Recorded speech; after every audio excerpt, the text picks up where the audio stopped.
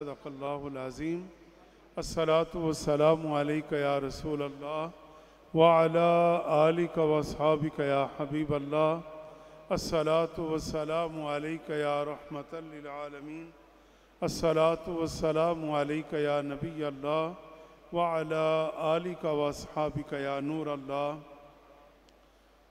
حضور سیدی فیض عالم گنج بخش رحمت اللہ تعالی لے کے نو سو اکاسی میں سالانہ عرص مبارک کی تقریبات جاری ہیں اور یہ مغرب کے بعد کی یہ عظیم نشست، یہ جامعہ حجویریہ جو حضور سیدی فیض عالم کے سبز گنبد کے سائے میں بیس منٹ میں قائم ہے، تو بحمد اللہ تبارک و تعالی اس ادارے کے فضلاء علماء کرام، ہمارے سے محو گفتگو ہوں گے، جن کے نورانی اور علمی بیانات سے ہم قلوب و اذہان کو منور کریں گے۔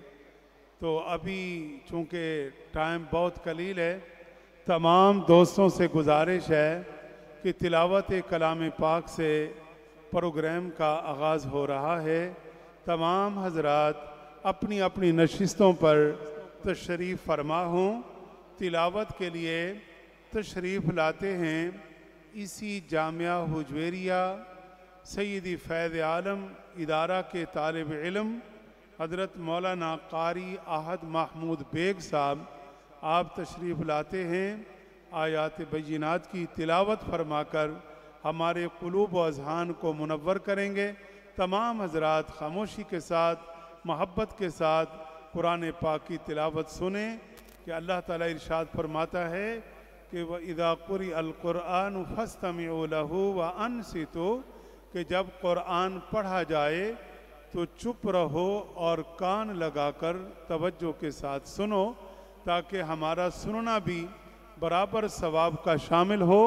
یہ گفتگو آپ بند کریں گے تو پھر ہی پوری توجہ کے ساتھ ہم قرآن پاک کی تلاوت سنیں گے۔ تشریف لاتے ہیں زینت القرآ جناب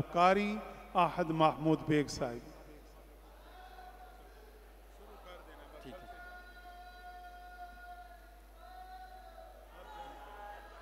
أعوذ بالله من الشيطان الرجيم.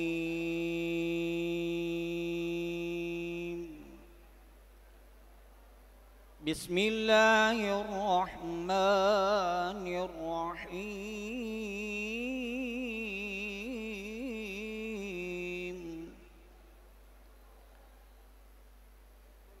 فلا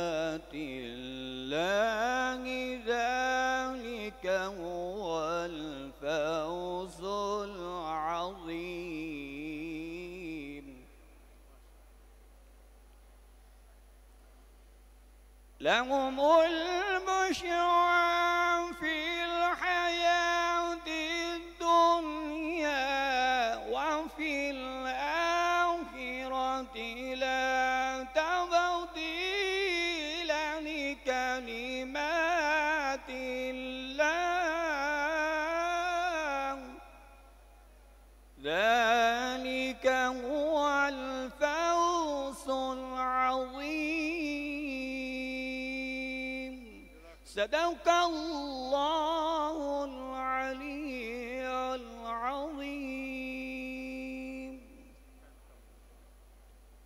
تلاوت کے لیے تشریف لاتے ہیں زینت القرا قاری بلال سعید صاحب، متعلم جامعہ حجویریہ، بہاول نگر سے تعلق رکھتے ہیں۔ تشریف لاتے ہیں قاری بلال سعید صاحب۔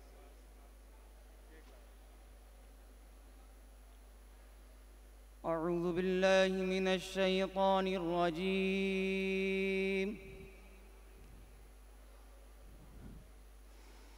بسم الله الرحمن الرحيم.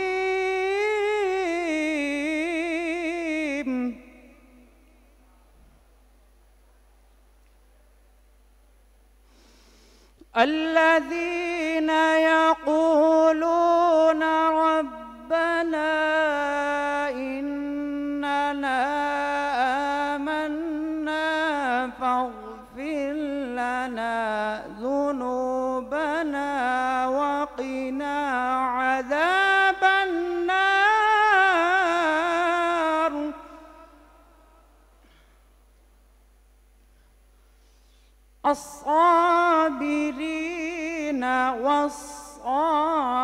والصادقين والقانتين.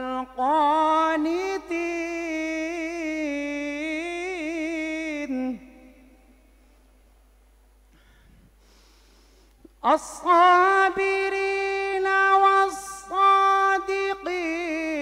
والقانتين والمنفقين والمستغفرين بالأسحار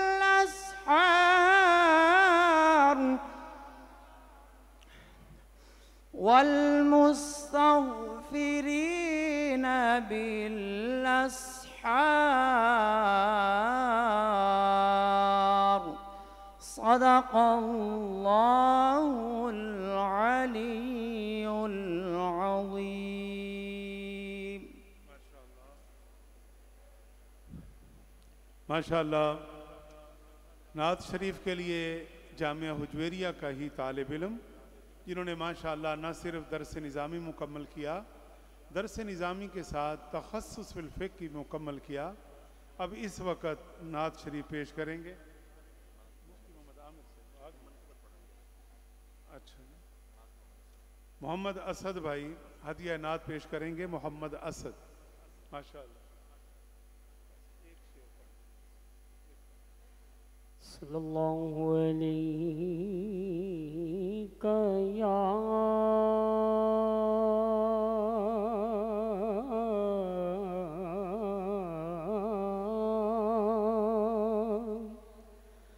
رسول اللہ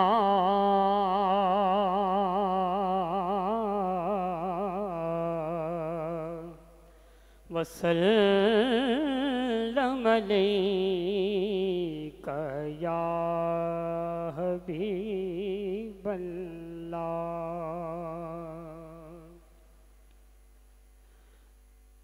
خوشبو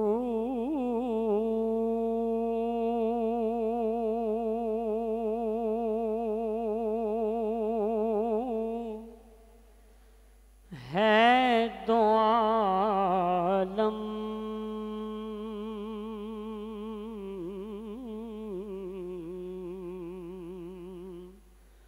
میں تیری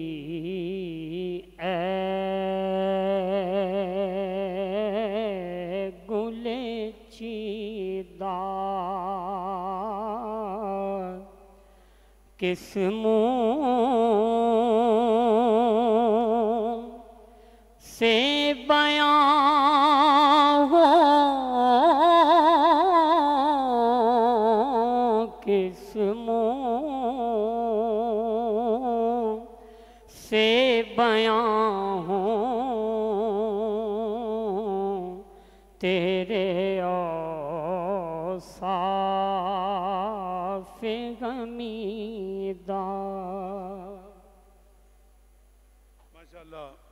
محمد عامر صاحب تشریف لائیں گے اور منقبت پیش کریں گے۔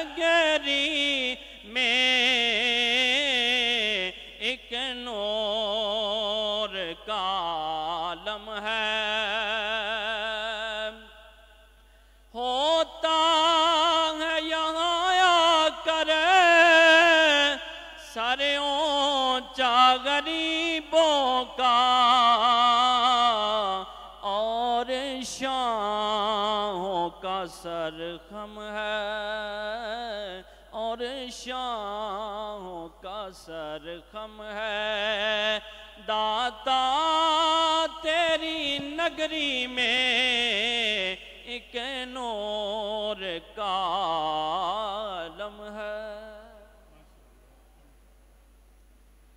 ماشاءاللہ، یہ تو جامعہ حجویریہ کے طلباء کرام تھے، جو اب علماء ہیں، درس و تدریس سے وابستہ ہیں۔ لیکن اب ماشاءاللہ، فضلاء کے ساتھ ساتھ جامعہ کے اساتذہ کرام کے بھی ملفوظات ہم سنیں گے۔ یہ ایک علمی ترتیب ہے جس میں درس قرآن بھی شامل ہے، درس حدیث شامل ہے، درس تصوف شامل ہے، علماء کرام کے خطابات ہیں اور انشاءاللہ جو ٹائم ہمارے پاس عشاء تک ہے، انشاءاللہ اس میں یہ پروگرام جاری رہے گا۔ اب اسی جامعہ حجویریہ کے ہمارے استاذ گرامی شیخ الحدیث، مصنف کتب کثیرہ تصوف پر، حدیث پر، کس بھی حوالے سے درسیات میں جن کی عظیم خدمات ہیں اور جب سے جامعہ قائم ہوا، اس دن سے آج تک الحمدللہ آگے بھی اللہ صحت و عافیت کے ساتھ سلامت رکھے۔ جانا پہچانا نام علماء کی صفوں میں، بلکہ عظیم نام شیخ الحدیث استاذ العلماء حضرت علامہ مفتی محمد صدیق ہزاروی صاحب۔ جن کے دیدار کے لیے آپ تڑپا کرتے ہیں، ابھی آپ درس قرآن ارشاد فرمائیں گے، تمام حضرات پوری توجہ کے ساتھ درس قرآن سنیں گے تاکہ معلوم ہو کہ واقعی درس قرآن توجہ سے سنا جا رہا ہے۔ کہیں بات نہ ہو، ادھر ادھر نہ ہو، کھڑے نہ ہوں توجہ کے ساتھ بیٹھ کر درس قرآن پاک سماعت کریں۔ درس قرآن ارشاد فرمائیں گے۔ استاذ العلماء حضرت علامہ مفتی محمد صدیق ہزاروی صاحب، شیخ العدیز جامعہ بھجویریہ۔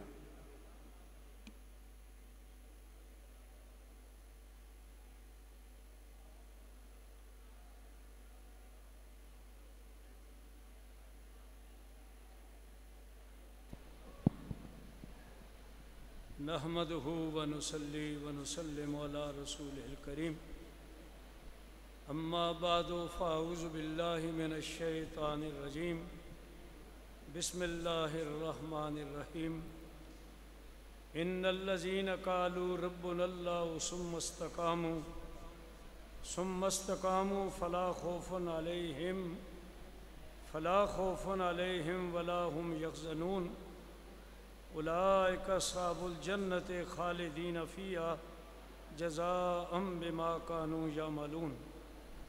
صدق الله مولانا العلي العظيم وبلغنا رسوله النبي الكريم ونحن على ذلك لمن الشاهدين والشاكرين والحمد لله رب العالمين الصلاة والسلام عليك يا رسول الله وعلى آلك وصحابك یا حبیب اللہ حمد و صلات کے بعد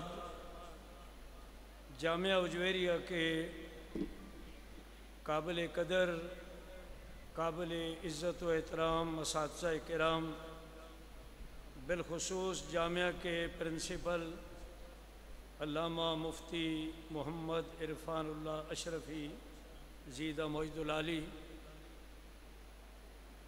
حضرت داتا حضرت داتا گنج بخش رحمۃ اللہ علیہ کے مہمانان گرامی، آپ سب حضرات، حضور داتا صاحب رحمۃ اللہ علیہ کے مہمان ہیں۔ السلام علیکم ورحمۃ اللہ وبرکاتہ۔ مجھے یہ سعادت حاصل ہو رہی ہے کہ عرس مبارک کی اس تقریب شہید میں قرآن پاک کے ایک مقام سے درس اور بیان آیات کریمہ کا آپ کے سامنے پیش کروں۔ مختلف آیات میرے ذہن میں تھیں، لیکن مناسب یہ سمجھا کہ وہ آیت کریمہ جو حضرت داتا صاحب رحمۃ اللہ علیہ اور آپ جیسی شخصیات اولیاء کرام کی زندگیوں سے مطابقت رکھتی ہے، وہ آیت کریمہ میں نے منتخب کی ہے۔ پہلے اس کا ترجمہ کرتا ہوں، انشاءاللہ مختصر وقت میں میں اپنا درس مکمل کروں گا۔ ان الزین بے شک وہ لوگ کالو جنہوں نے کہا رب اللہ ہو ہمارا رب اللہ ہے۔ سمستقام پھر وہ اس پر قائم رہے، استقامت اختیار کی۔ فلا خوف علیہم ولاحم یکسنون پس ان پر کوئی خوف ہوگا اور نہ کوئی غم ہوگا۔ اولئک صاحب الجنہ، وہی لوگ جنتی ہیں، خالدین فیہ ہمیشہ جنت میں رہیں گے۔ جزا ام بما کانو یا ملون یہ ان کے اعمال کا بدلہ ہے۔ میں اس طرف آپ رات کی توجہ دلانا چاہتا ہوں۔ کہ اس آیت کریمہ میں بھی فلا خوف علیہم ولا یحزنون ہے۔ اور جو آیت کریمہ ہمارے درمیان معروف ہے، اور ابھی ایک ساتھی نے تلاوت میں بھی اللہ ان اولیاء اللہ اللہ خوف علیہم ولا هم یحزنون۔ اس آیت کریمہ میں بھی یہ ہے کہ ان لوگوں پر جو اللہ کے دوست ہیں نہ کوئی غم ہے اور نہ کوئی خوف ہے۔ ان دونوں آیت کریمہ کو اور اسی طرح کی ایک اور آیت کریمہ بھی ہے۔ ان الزین کالو رب اللہ وسم مستقام تتنزل علیہم الملائکہ۔ اس میں بھی یہی بیان کیا گیا ہے۔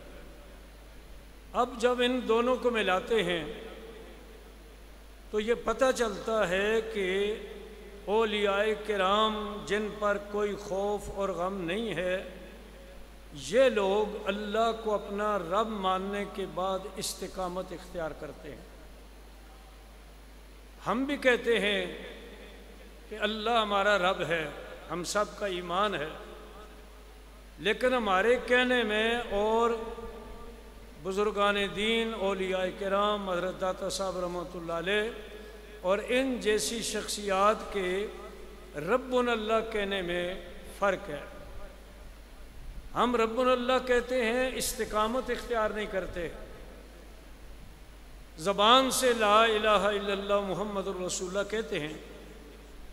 لیکن رب ماننے کا مطلب یہ ہے کہ اس کے احکام پر عمل کیا جائے۔ حضور صلی اللہ علیہ وسلم جو اللہ تعالیٰ کے آخری نمائندہ ہیں، ختم المرسلین، خاتم النبیین ہے آپ کی تعلیمات پر عمل کیا جائے، دکان پر مسجد کو ترجیح دی جائے، کاروبار پر اذان اور نماز کو ترجیح دی جائے، حرام چھوڑ کر حلال کی طرف جایا جائے، بہت ساری تفصیل ہے۔ یہ استقامت ہے۔ آپ اندازہ لگائیں کہ جب حضور داتا صاحب رحمۃ اللہ علیہ لاہور میں تشریف لائے، ایک مسلح تھا۔ کوئی جہاں جاننے والا نہیں تھا، کوئی عزیز رشتہ دار نہیں تھا۔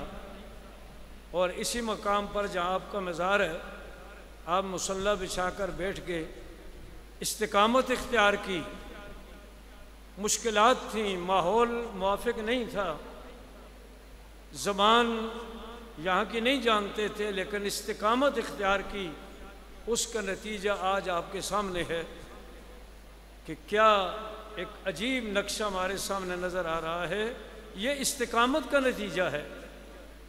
الاستقامت و فوکر کرامت۔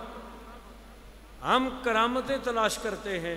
بالکل، اس میں کوئی شک نہیں ہے کہ اولیاء کرام کی کرامات حق ہیں۔ انبیاء کرام علیہ السلام کے معجزات حق ہیں۔ لیکن استقامت کرامت سے اوپر ہے۔ نماز کی پابندی ہو، روزہ پابندی سے رکھا جائے، رمضان کا مہینہ جب آئے، مال اللہ نے عطا کیا تو زکوٰۃ ادا کی جائے۔ اگر طاقت دی تو حج کیا جائے۔ عبادات، اخلاقیات، یہ چیزیں اگر ہوں گی تو اس کا مطلب یہ ہے کہ ہم نے سچے دل سے یہ کہا ہے کہ رب اللہ اللہ ہمارا رب ہے۔ استقامت کے بعد نتیجہ کیا نکلتا ہے؟ لا خوف علیہم ولا هم یحسنون یہاں پہلے ذکر کیا رب اللہ اور استقامت کا۔ اور اس آیت میں اللہ انا اولیاء اللہ اللہ خوف علیہم ولا هم یحسنون یہ پہلے ذکر کیا۔ اور پھر بتایا اللہ زینہ آمن و یتقون۔ جن لوگوں نے ایمان لائے جو لوگ ایمان کی دولت سے مالا مال ہوئے اور تقوی اختیار کیا، یہی استقامت اور تقوی مانوی اعتبار سے دونوں ایک ہی چیز ہیں۔ انہوں نے اگر ان پر کوئی خوف اور غم نہیں ہے تو کس وجہ سے نہیں ہے؟ اگر وہ اللہ کے دوست ہیں تو کس وجہ سے دوست ہیں؟ اللہ زین آ منو وکان یتقون۔ ایمان لانے کے بعد پرہزگاری اختیار کی، آرام سے اپنے آپ کو بچایا، برے کاموں سے اپنے آپ کو بچایا۔ ادھر یہ کہا استقامت، ادھر یہ کہا کہ اللہ زینہ امن و قانو یتقون۔ خوف اور حزن میں فرق کیا ہوتا ہے؟ خوف ہوتا ہے آخرت کا، کہ آخرت میں میرا انجام کیا ہوگا؟ دنیا میں جو میرے اعمال ہیں، ان کے حوالے سے میرے ساتھ کیا سلوک ہوگا؟ یہ خوف ہوتا ہے۔ چونکہ اللہ اور اس کے رسول صلی اللہ علیہ وسلم نے بتا دیا ہے، جنت کا بھی بتا دیا، جہنم کا بھی۔ حضور علیہ السلام کو بشیر و نذیر بنا کر بھیجا کہ جنت کی خوشخبری دیں ایمان والوں کو، اعمال صالحہ والوں کو۔ اور نذیر، ڈر سنانے والا، حضور ڈرانے والے نہیں ہیں۔ حضور علیہ السلام کو جب پہلی مرتبہ کوئی دیکھتا تھا تو روب طاری ہو جاتا تھا اور جب حضور کے پاس بیٹھتا تھا تو جس طرح ایک دوسرے کے دوست ہوتے ہیں۔ حضور ڈرانے والے نہیں، اعلیٰ حضرت رحمۃ اللہ علیہ نے ترجمہ کیا، ڈر سنانے والے۔ ڈر سنانے کا مطلب یہ ہے کہ جنم کے خطرات سے آگاہ کرنے والے۔ کہ اگر ایمان نہیں لاؤ گے، اچھے کام نہیں کرو گے، تو پھر تمہیں ان خطرات سے جو جہنم کی سزا ہے، اس کا تمہیں خیال کرنا چاہیے، اس سے آگاہ کرنے والے تشریف لائے۔ یہ خوف ہے، لیکن جب جنت میں چلے جائیں گے، تو اس کے بعد ان کو اللہ تعالیٰ جو مقام عطا کرے گا، وہ کہیں گے الحمد للہ اللہ عزب عن الحزل اس، یہی آئے تھی کہیں میں بھول نہ جاؤں۔ وہ کہیں گے تمام تعریفیں اس اللہ کے لیے جو ہم سے غم لے گیا۔ ہمیں جنت میں بھیج دیا وہ جو غم تھا، وہ ختم ہو گیا، وہ خوف جو تھا، خوف ختم ہو گیا۔ لیکن تب جب حضور داتا صاحب رحمۃ اللہ علیہ کے طریقہ کار پر چلیں گے، غم کیا ہوتا ہے؟ حزن جس کو کہتے ہیں۔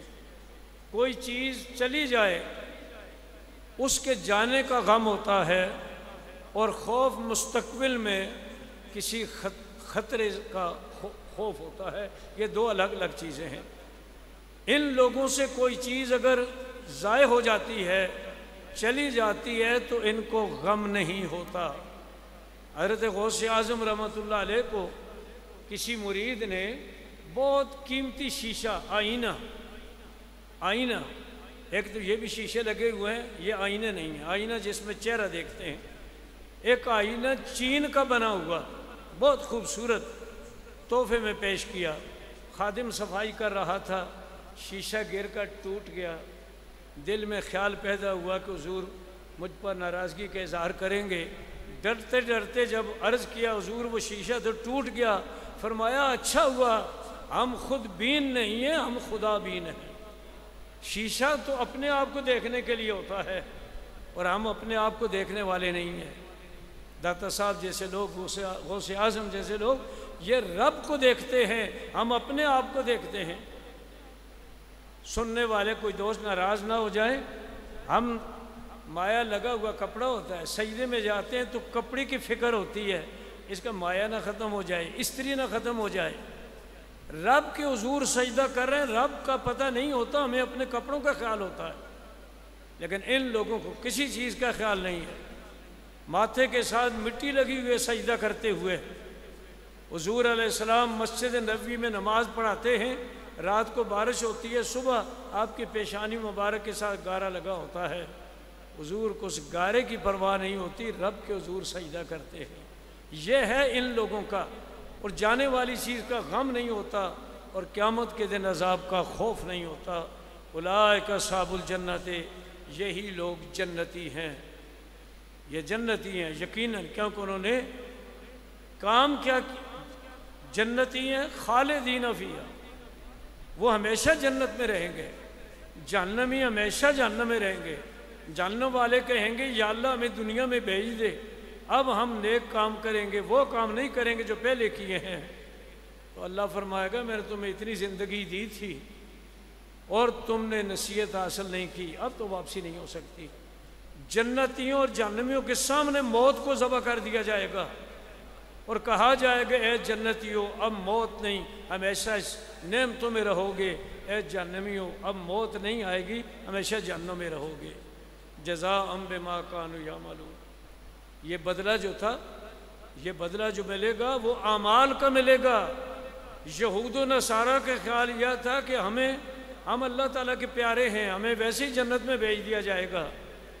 اللہ تعالیٰ نے فرمایا جنت بدلہ ہوتا ہے، نیک کام کا، ایمان کا۔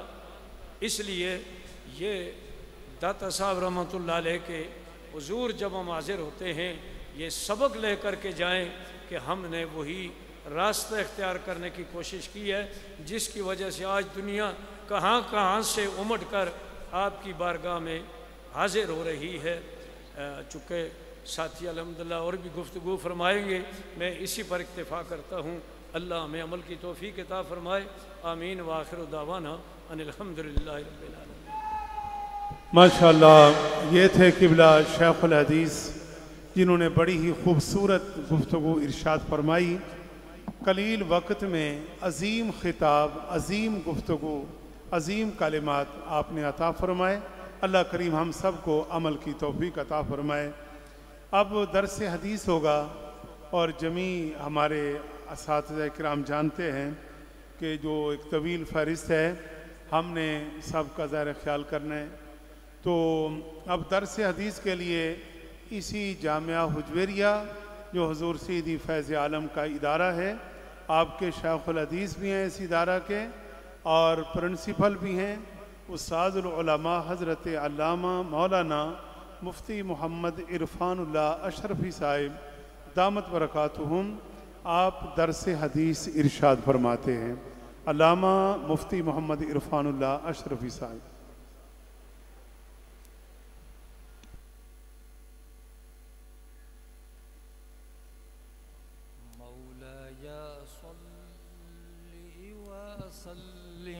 دائما ابدا خير الخلق كلهم. محمد سيد الكونين وثقلين والفريقين من عرب ومن عجم.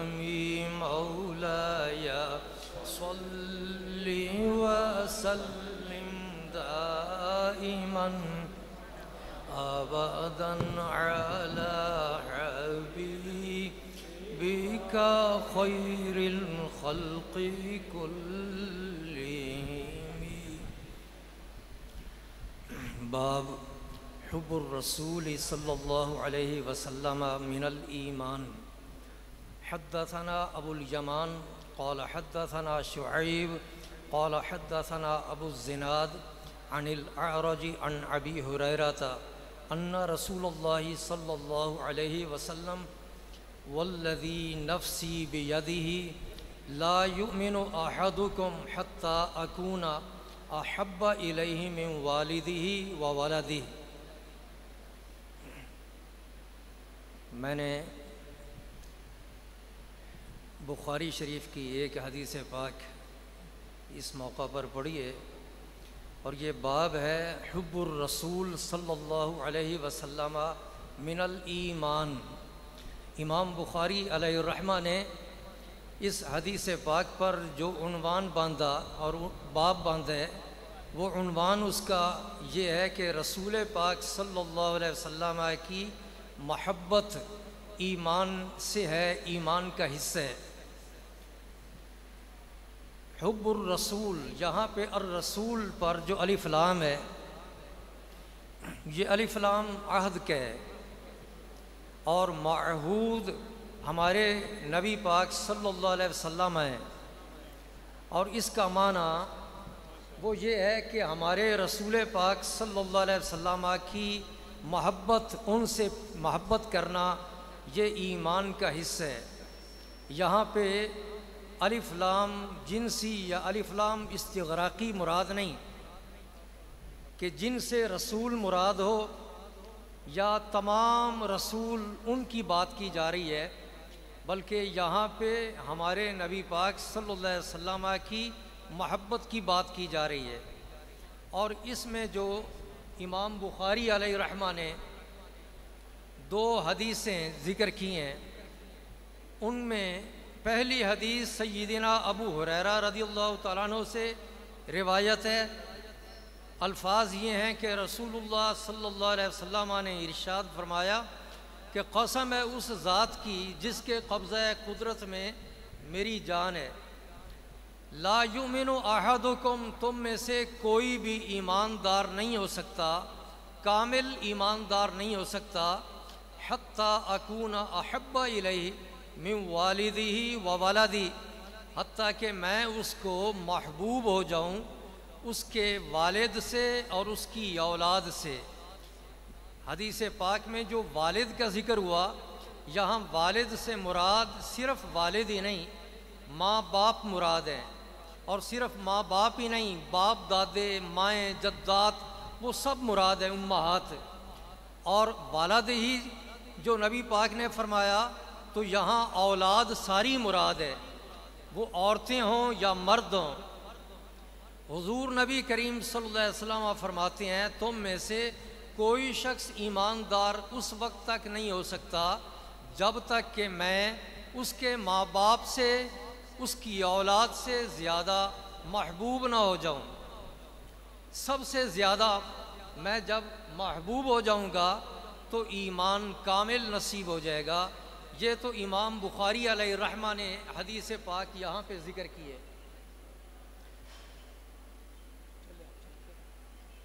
اور امام مسلم، انہوں نے صحیح مسلم شریف کے اندر حدیث پاک یہی ذکر کی، الفاظ بدلے ہوئے ہیں۔ لیکن انہوں نے جو باب باندھا، اس باب کا عنوان وہ کیا تھا؟ امام مسلم صحیح مسلم کے اندر باب یوں باندھتے ہیں کہ باب وجوبی محبتی رسول اللہ صلی اللہ علیہ وسلم اکثر من الاہلی والوالدی والوالدی والناسی اجمعین و اطلاق عدم الایمان علی من لم یحبہ ذالک المحبہ۔ آپ یہ فرماتی ہیں کہ رسول اللہ صلی اللہ علیہ وسلم کی محبت، اتنی زیادہ محبت کہ اہل و عیال سے زیادہ ہو، والدین سے زیادہ ہو، اولاد سے زیادہ ہو، سارے لوگوں سے زیادہ محبت نبی پاک کی ہو، اس کا واجب ہونے کا بیان۔ وہ فرماتے ہیں، صرف نبی پاک کی محبت مطلقاً واجب نہیں، بلکہ امام مسلم وہ باب یہ باندھتے ہیں کہ رسول پاک صلی اللہ علیہ وسلم کی محبت ہر شے سے بڑھ کر ہونا یہ لازم ہے، یہ ضروری ہے، یہ واجب ہے۔ بلکہ آپ آگے یہ بھی ذکر فرماتے ہیں کہ جو اس طرح نبی پاک سے محبت نہ کرے، کہ ماں باپ سے بھی زیادہ محبت ہو، اولاد سے بھی زیادہ ہو، اور اہل و عیال سے بھی زیادہ، اور سارے لوگوں سے زیادہ محبت اگر کوئی نہیں کرتا، بے شک محبت کرتا ہو، لیکن زیادہ محبت نہیں کرتا، تو اس پر ایماندار ہونا یہ اطلاق، یہ اسے ایماندار کہنا یہ بھی مناسب نہیں ہے۔ یہ ایمان کا نہ ہونے کا اطلاق، یہ ضروری ہے کہ کہا جائے کہ یہ تو ایماندار نہیں۔ ایماندار وہ شخص ہے کہ جو نبی پاک صلی اللہ علیہ وسلم سے محبت بھی کرے اور صرف محبت ہی نہیں، بلکہ ہر شے سے بڑھ کر محبت اور پیار کرے۔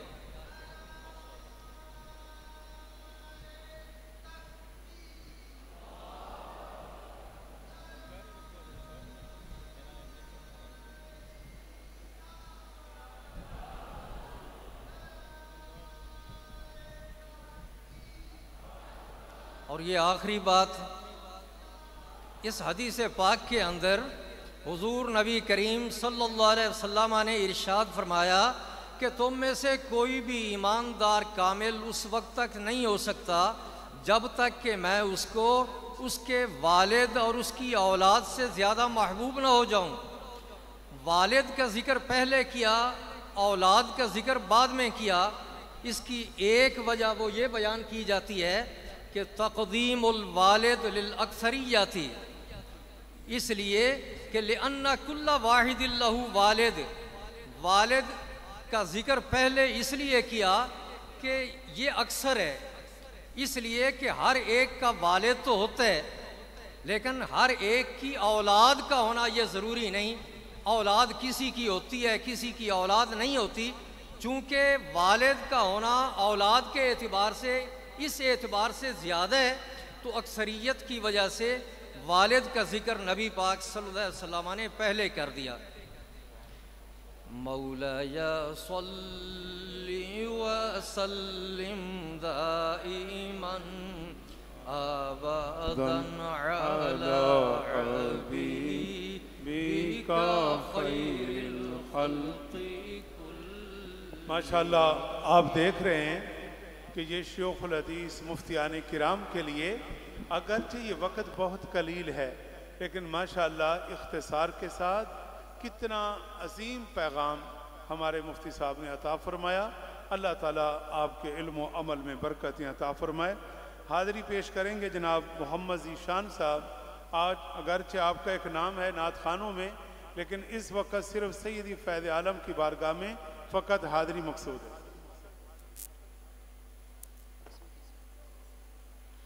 درود پاک پڑھ لیجیے۔ صلی اللہ علیہ یا یا رسول اللہ وسلم علیک یا حبیب اللہ۔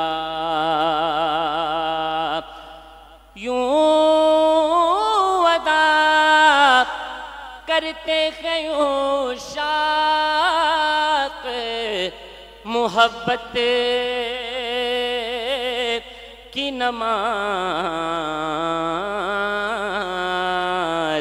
کہ سجدہ کعبے میں ہو اور دھیان مدینے میں رہے کے کہیں سجدہ کعبے میں ہو اور دھیان مدینے میں رہے۔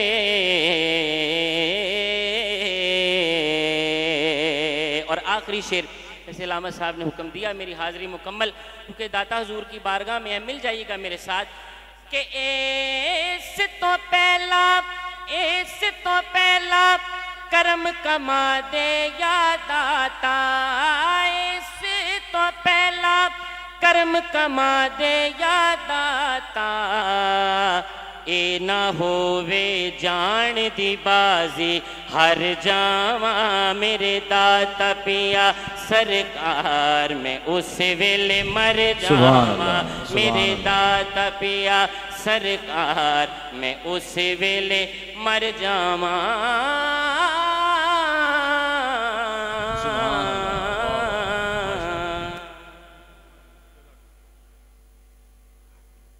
ایک شعر کے لیے تشریف لاتے ہیں جناب مولانا محمد یاسر صاحب۔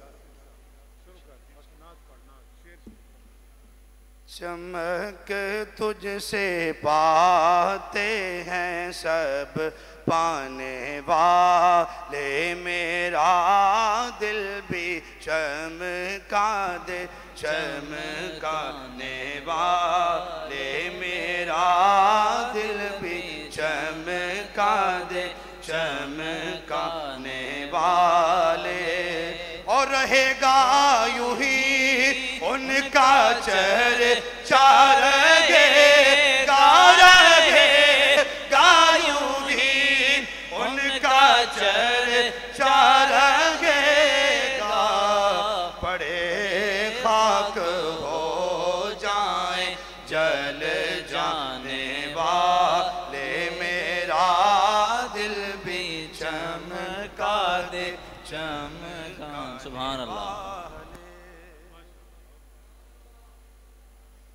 جامعہ حجویریہ کے شیخ الحدیث، موضوع بڑا اہم درس تصوف، پی ایچ ڈی سکالر بھی ہوں، اللہ تعالیٰ نے کئی علوم سے نوازا ہو، لیکن اس وقت وہ جانتے ہیں کہ یہاں حاضری مقصود ہے۔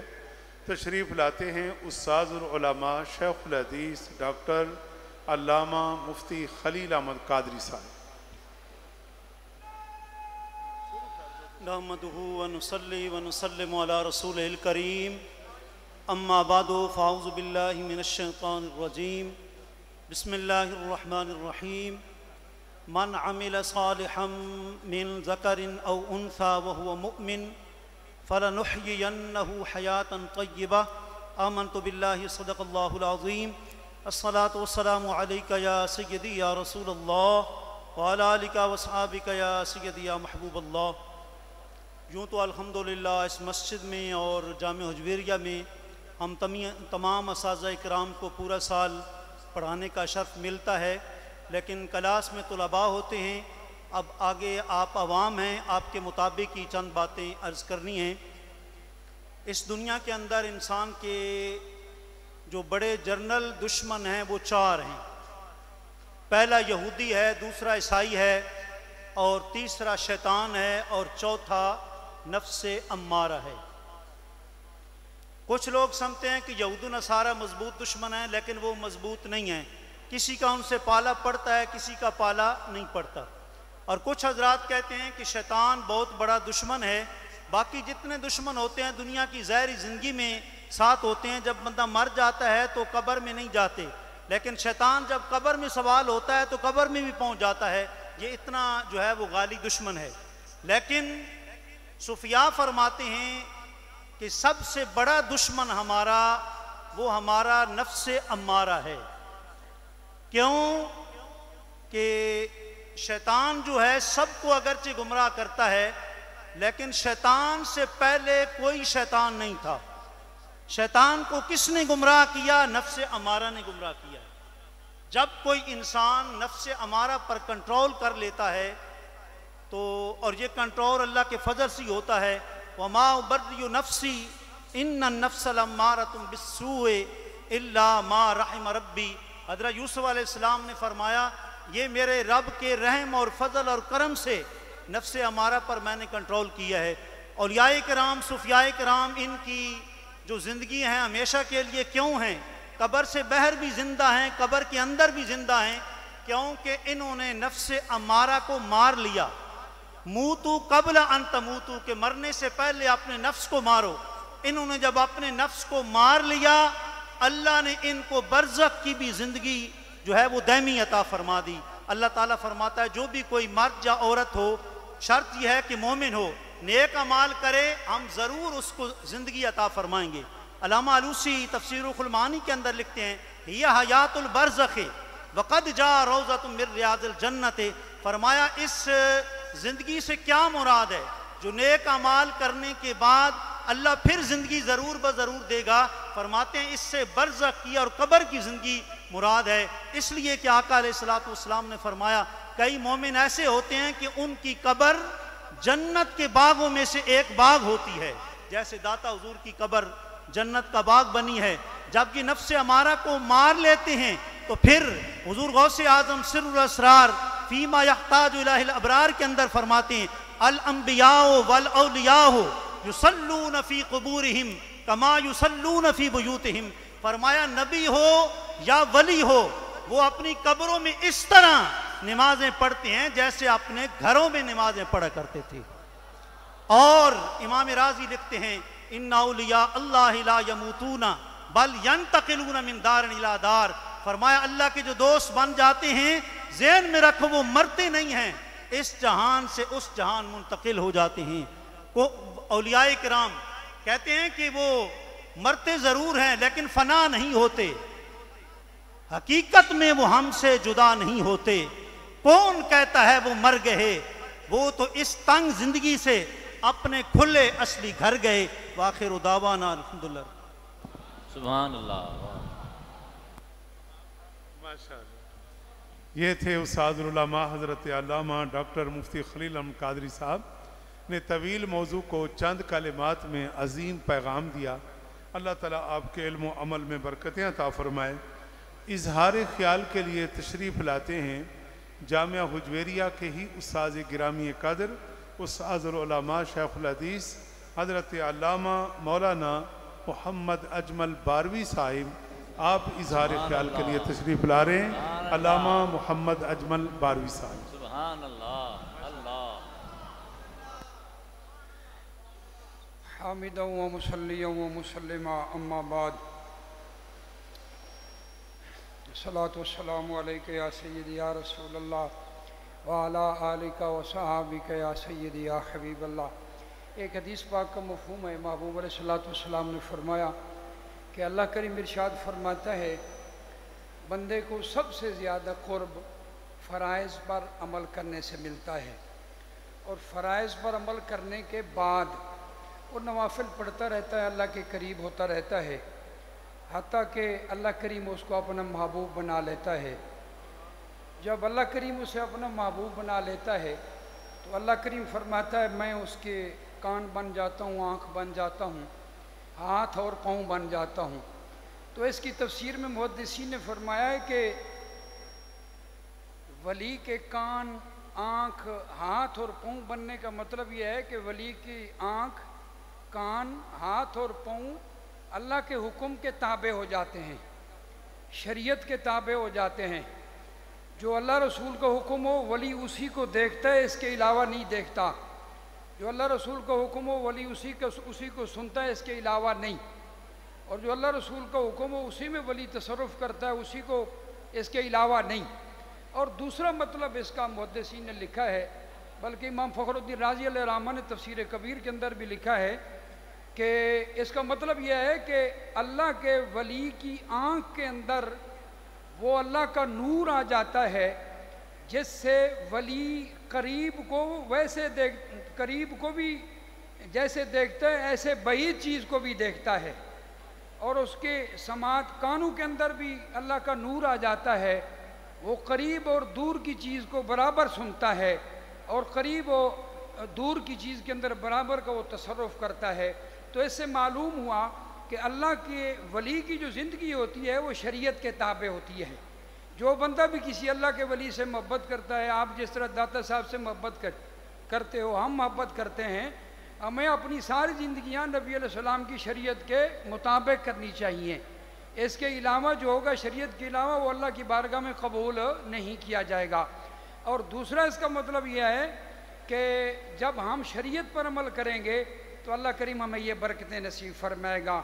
کیونکہ محبوب علیہ صلاۃ والسلام جو ہمیں دے کر گئے، وہ شریعت ہی دے کر گئے، اس کے علاوہ کچھ نہیں۔ وما علینا البلاغ اظہار خیال کے لیے تشریف لا رہے ہیں۔ جامعہ حجویریہ کے استاذ محترم استاذ العلماء شیخ الحدیث علامہ مولانا غلام مصطفیٰ انجم صاحب۔ علامہ مولانا غلام مصطفیٰ انجم صاحب۔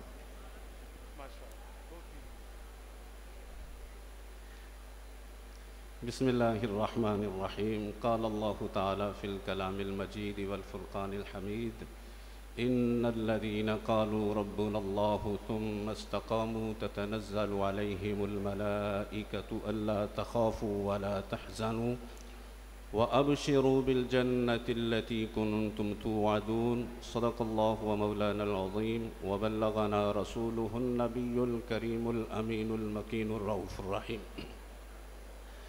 حاضرین و محتشم یہاں کوئی فن خطابت دکھانا تو مقصود ہے نہیں، صرف ایک حاضری مقصود ہے۔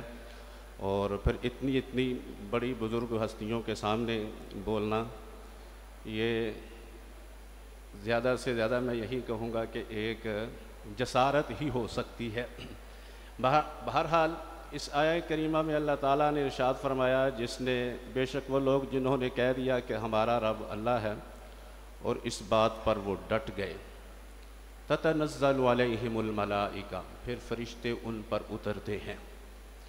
اصل میں یہاں جو اللہ کے مخلص بندے ہیں، جنہوں نے اخلاص کے ساتھ زندگیاں گزاری ہیں، تعریف انہی کی ہے اور ہیں بھی قابل تعریف وہی لوگ۔ اللہ تعالیٰ، اللہ کے محبوب صلی اللہ تعالیٰ علیہ وآلہ وسلم نے سیدنا حضرت معاذ بن جبل رضی اللہ تعالیٰ عنہ کو جب یمن کا قاضی بنا کر بھیجنا تھا تو کئی رسول اللہ صلی اللہ تعالیٰ علیہ وسلم نے ان کو نصیحتیں فرمائی۔ ایک نصیحت جب آپ نے فرمائی تو اس وقت رسول اللہ صلی اللہ تعالیٰ علیہ وسلم ان کو رخصت فرماتے ہوئے رو پڑے۔ اور نصیحت کیا تھی؟ حضرت معاذ بن جبل رضی اللہ تعالیٰ عنہ بھی شاید جانتے تھے رسول اللہ کو تو علم تھا کہ آج کے بعد ہماری بالمشافہ ملاقات نہیں ہوگی۔ اس وقت رسول اللہ صلی اللہ تعالیٰ علیہ وسلم سے پوچھا، حضور مجھے کوئی آپ ایسی نصیحت فرمائے میں کروں تو مجھے اس پر بے بہا اجر و ثواب ملے۔ میرے آقا نے ارشاد فرمایا، یا معاذ، اخلص دینک، یکفک العمل القلیل، اپنے دین کو ستھرا کر لو، خالص کر لو۔ تمہارا تھوڑا عمل بھی تمہیں زیادہ لگے گا یعنی قلیل عمل بھی تمہارے لیے کافی ہوگا۔ جس طرح داتا علی حجویری رضی اللہ تعالیٰ عنہ علامہ کو صدیوں بعد یہ کہنا پڑا کہ عہد فاروق کز جمال اشتازہ شد، حق ز حرف او بلند آوازہ شد کہ حضرت علی حجویری رضی اللہ تعالیٰ عنہ کے اخلاص کی بنا پر جس کسی نے ان کے جمال کا نظارہ کیا تو اسے یوں لگا کہ عمر فروغ فاروق اعظم کے دور کی یاد تازہ ہو گئی ہے۔ ان کا دور پھر سے واپس آ گیا ہے اور کہنا پڑا، پاس بان عزت ام الکتاب، از نگاہش خانہ باطل خراب کہ حضرت علی حجویری رضی اللہ تعالی عنہ ایک تو کتاب کے محافظ تھے اور دوسرا ان کی نکاح سے، نگاہ پاک سے جو کفر کو دوڑنا پڑا ہے، یہ ان کے اخلاص پر منہ بولتا۔ ثبوت ہے اور پھر انہیں کہنا پڑا کہ خاک پنجاب از دم او زندہ گشت صبح ماں از مہر او تا بندہ گشت کہ جو پنجاب کی خاک کو زندگی ملی ہے رونق ملی ہے تو یہ سب فیض داتا علی حجویری رضی اللہ تعالی عنہ کا ہے۔ اس کی اصل وجہ یہ ہے کہ یہ تھا ان کا اخلاص۔ اگر ہم بھی آج اپنے اندر اخلاص پیدا کریں تو پھر رب کی عنایات کا سلسلہ ہم پر بھی جاری و ساری ہو سکتا ہے۔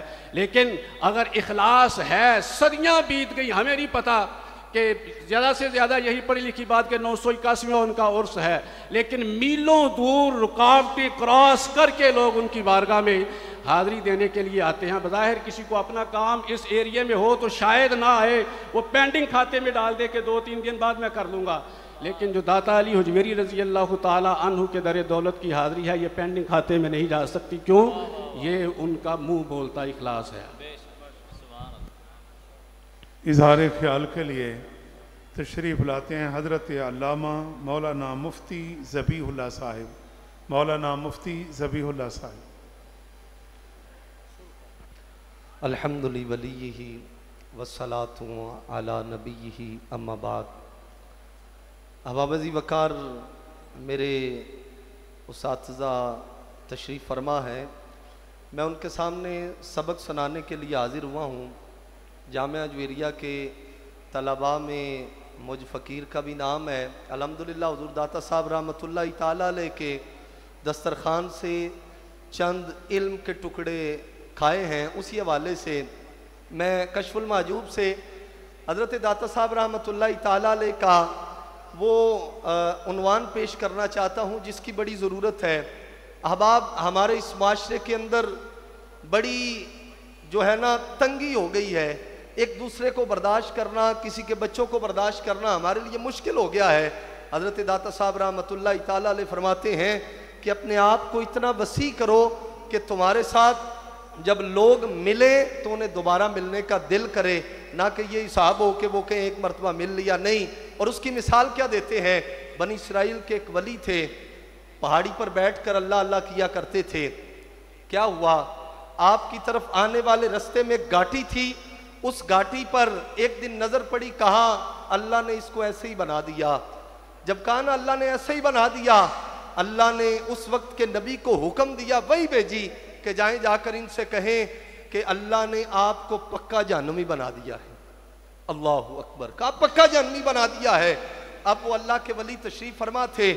وہ اللہ کے نبی تشریف لائے۔ کہا اللہ نے آپ کا نام جہنمیوں لکھ دیا ہے۔ حضرت داتا صاحب فرماتے ہیں، وہ ولی جھوم اٹھے۔ کہا اللہ نے میرا نام لکھا ہے۔ اللہ نے میرا نام جہنمیوں میں لکھا ہے۔ آپ اللہ کے نبی ہیں۔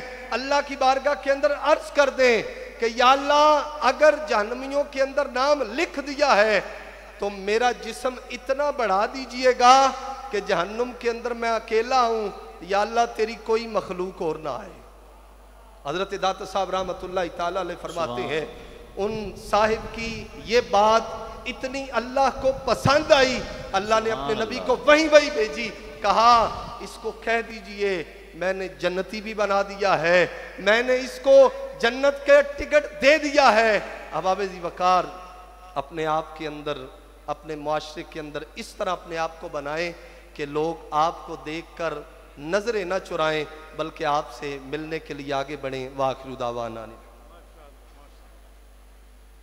اظہار خیال کے لیے تشریف لاتے ہیں حضرت علامہ مولانا مفتی محمد رضا خلیل صاحب۔ الحمد للہ الحمد لولیہ الصلاة والسلام علی نبیہ، اما بعد، فاعوذ باللہ من الشیطان الرجیم، بسم اللہ الرحمن الرحیم، قل هل يستوي الذین يعلمون والذین لا يعلمون عزیز سامن محترم، میں آج جس عنوان پر چند جملے بیان کروں گا، وہ ہے حضور سیدی فیض عالم داتا گنج بخش رحمۃ اللہ تعالیٰ علیہ کے تعلیمی افکار۔ آپ نے تعلیم کے بارے میں کیا کیا بیان کیا؟